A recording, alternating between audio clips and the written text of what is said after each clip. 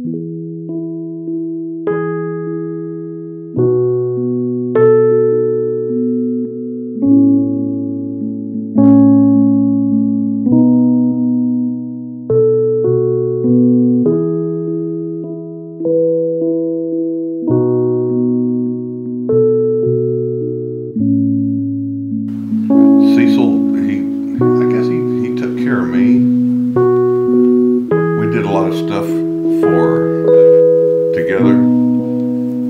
Like I said, him and him and him and uh, Mary Jane, they took me along just for fifty cents so they could have money to put in the, in the car, and that's when gas was about fifteen cents a gallon.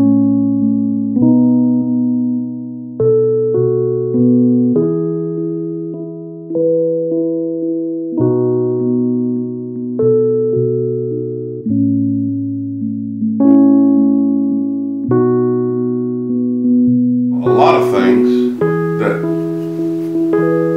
I think about, and it's him playing the piano a lot of times because he played quite even and he was a, a very good piano teacher and I mean he, he, like I said he likes a half a semester getting his music degree and n- never got it. He went to work and uh, playing the piano is, is, is one of the things I always remembered. I mean, he played it very gracefully.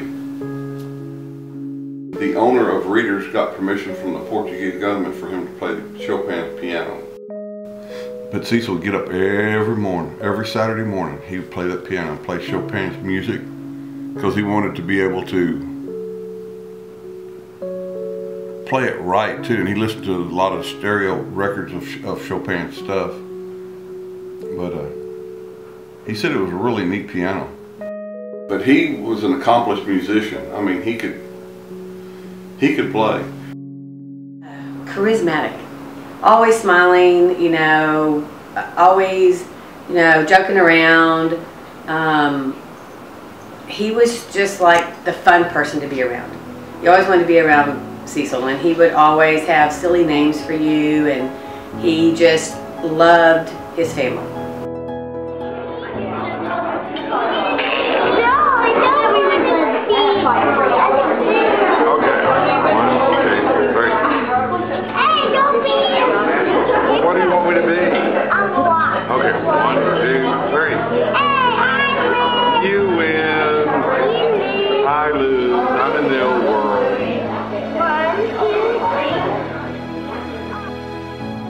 Diagnosed with lung cancer is, you know, Cecil smoked all his life. And he knew he ran that risk, you know, and he even said to Becky, you know, right before the two of them, right, when they kind of got together and then all this, he said, if smoking is an issue for you, then we don't need to be doing this because I smoke and I'm not going to quit smoking. So he knew that risk. And he knew that one day this could happen and he could get diagnosed with lung cancer. But the thing is, is that it's kind of like when it happened, he owned it. You know what I'm saying? It's like, yep, I knew it was a gamble. I knew this could happen, and it did. And so um, I'm gonna live life to the fullest until the end.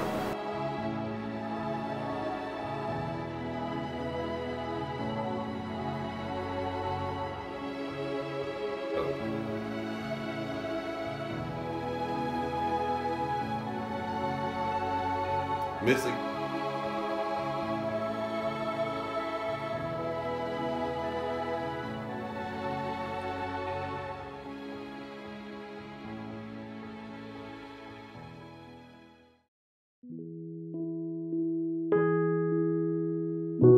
He's always been compassionate, loving, fun. He still continued to be that person. And I think what what he really tried to do was to realize his family and his friends and everybody is that how much he loved them. He wanted to make sure they knew that. He wanted to make sure that um, he did as much with them as he can as he felt like it you know, and even on the days he felt just really, really, really bad, he just didn't show it. I mean, it's just how he was.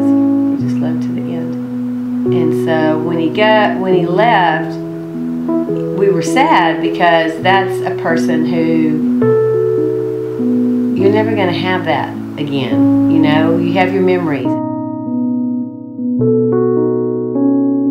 But Cecil was uh, a very honorable man.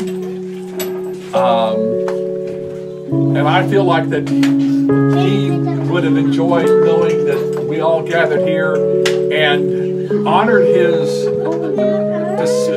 disbursement of his ashes in a space, place that he felt like was one of the finest places in the world, and that was here at Norman's Point, at Uncle Bo's, at Papa's, Mama's, and his daddy's place.